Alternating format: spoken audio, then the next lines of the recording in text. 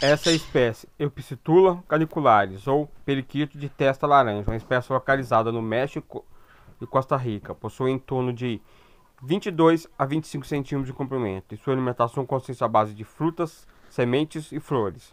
Periquito de testa laranja é uma espécie que se encontra vulnerável, correndo risco de extinção. Até a próxima, curta e compartilha. Tchau, tchau.